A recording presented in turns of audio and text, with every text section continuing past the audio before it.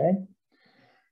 Uh, next, I want to make a few distinctions uh, of a couple fields uh, that also study um, health and illness uh, with a focus on um, healthcare.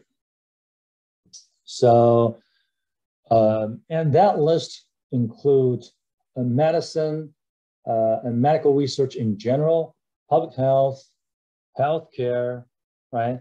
Epidemiology, medical sociology, medical anthropology, health psychology, and go on. Okay?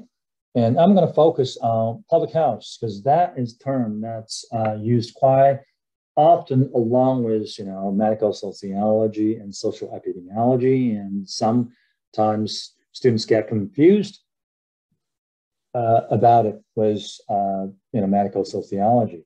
So, what is public health? Okay, uh, uh based on uh, uh, definitions provided by John Hopkins Bloomberg School of Public Health. In the medical field, clinicians, doctors and nurses and, and professionals, right, health professionals, treat diseases and injuries one patient at a time.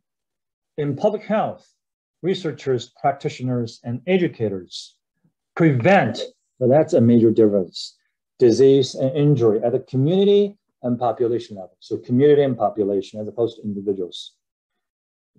We, so public health scholars, identify the causes of disease and disability.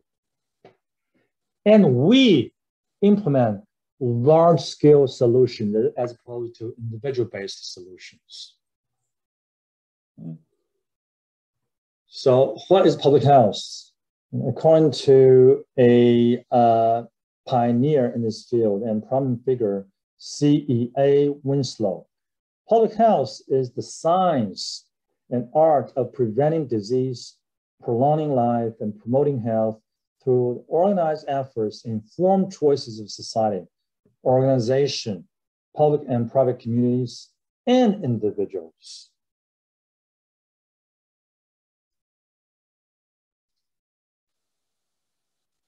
Well, related to public health and uh, uh, medical sociology as well as social epidemiology, I would also talk about uh, two concepts.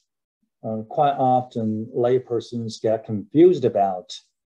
Uh, first is healthcare system. So, what is healthcare system? Healthcare system is composed of or comprises a nation's clinics, hospitals, and other facilities for ensuring health and treating illness. So every time when we visit a clinic or a, a unit in the hospital, we are utilizing healthcare system as opposed to public health system.